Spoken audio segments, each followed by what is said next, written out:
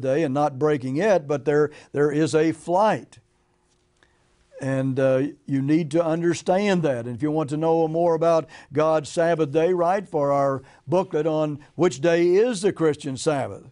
But see here, you can see this sign and know when to flee, when your flight needs to occur. That's the faith that's going to be required to do it, and it is certainly going to be uh, necessary that we have faith in God. But notice what a huge part of this sign are about nuclear bombs. Notice this.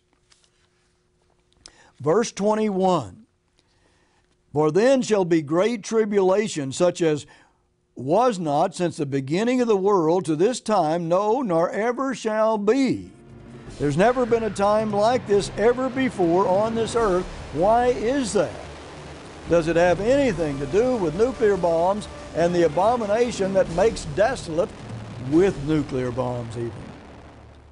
Are we going to listen to Jesus Christ or are we going to ignore Him? Why don't you hear religions talking about these prophecies for this very end time, which is a sign that Jesus Christ is going to return and stop it? Notice that in verse 22. Verse 22 and except those days should be shortened, there should no flesh be saved alive, the Moffatt says. No flesh be saved alive, but for the elect's sake, those days shall be shortened. Now, Jesus Christ says that these days are going to be shortened. They're going to be shortened. Now, here is a, a news magazine, Newsmax magazine, and they even have as their cover story the Jesus question Will he ever return? Will he ever return? And the answer is yes, he will. But how do we determine that? Do we determine that by going and talking to our neighbor or talking to some professional or some religious person? Well, no, let me show you how you determine that and how you should determine if Christ is going to return, and, and then you can believe what he says about the sign. Notice verse 23 and 24. Then if any man, you see, be careful now with men, if any man shall say unto you, Lo, here is Christ, or there, believe it not. Don't believe them. Don't believe it. For there shall arise false uh, Christs and false prophets, and shall show great signs and wonders, insomuch that if it were possible, they shall deceive the very elect. Now, what is the problem here, you see? The very elect cannot be deceived. You know why? Why is it these people cannot be deceived? Because they don't listen to any man they listened to Christ Himself. You see, we're, we're going to answer questions like this. We're not going to get those answers from men. We're going to have to go to Christ and He will give us the answers. And then He talks about those nuclear bombs. Those nuclear bombs. Let me, uh, again, a sign, you see, of Christ's coming. It, it relates to those nuclear bombs that, were, that I talked about in the beginning. It's a part of the sign that Jesus Christ is coming to this earth very soon. If He didn't, there would be no flesh saved alive. It really is about human survival. It really is about that. Can anybody ignore such a prophecy and such a war- warning from the very Creator God?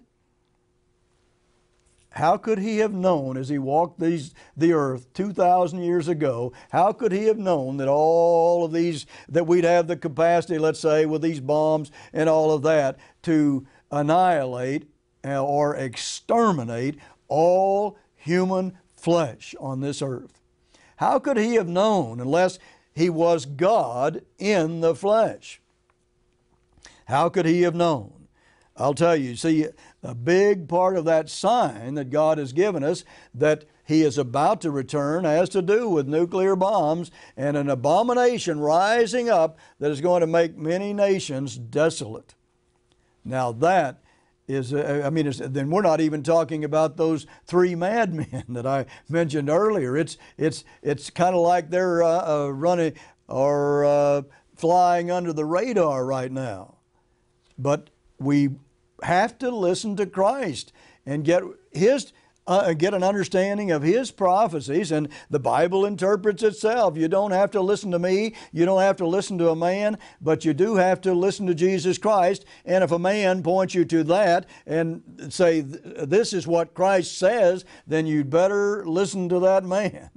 If you can prove it from your bible you'd better listen to that man See, it's this nuclear power that is rising on the world scene right now, and our booklets will make that crystal clear to you. That abomination is rising on the scene right now, and it is the sign. It is the sign. It hasn't yet done its dirty work, but it's, it's awfully close to doing that. The sign is there, and we can absolutely know, we can know that Jesus Christ is about to return to this earth and save man from himself.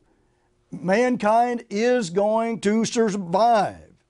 If he didn't come back, there would be no flesh saved alive, but He's coming back and He's coming very soon. Until next week, this is Gerald Flurry. Goodbye, friends. Request our free booklet on the Holy Roman Empire and our free reprint on North Korean nuclear armament. Many people are aware of the atrocities committed by Germany in World War II, but would consider them ancient history. These people are completely unaware of the legacy which Adolf Hitler drew upon in creating his Nazi war machine. His was merely the latest resurrection of a war making empire with a long and bloody history. Did you know that the Bible prophesied of his regime, as well as the terrible emergence of one last resurrection in our day? Request our free booklet on the Holy Roman Empire for more information. Also, request our free reprint on North Korean nuclear activities. A recent report in the Times Online showed that North Korea has become a full fledged nuclear power with the capacity to wipe out entire cities in Japan and South Korea. Where is this nuclear proliferation leading? Request our free reprint on North Korean nuclear armament. You'll also be sent a free subscription to our news magazine, The Philadelphia Trumpet. The Trumpet continues to look at today's headlines through the clear light of Bible prophecy, with world events speeding out of control. Never before has a news magazine been so important for you to read. Your free subscription is waiting. Please also visit us online at thetrumpet.com for daily columns and headlines. Request our free booklet on the Holy Roman Empire and our free reprint on North Korean nuclear armament, along with the Trumpet magazine. Request your free literature now. For the free literature, click on the Request Menu option. The preceding program and all literature were produced and sponsored by the Philadelphia Church of God.